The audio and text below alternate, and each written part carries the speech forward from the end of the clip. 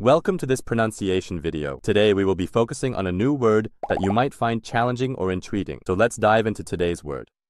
쉬자, which means Rest in Korean. let's say it all together. 쉬자. 쉬자. 쉬자. One more time. 쉬자. 쉬자. 쉬자. Thank you for joining us on this adventure in pronunciation. Remember, language is a journey, not a destination. Keep exploring, experimenting, and expanding your linguistic horizons. We'll see you next time.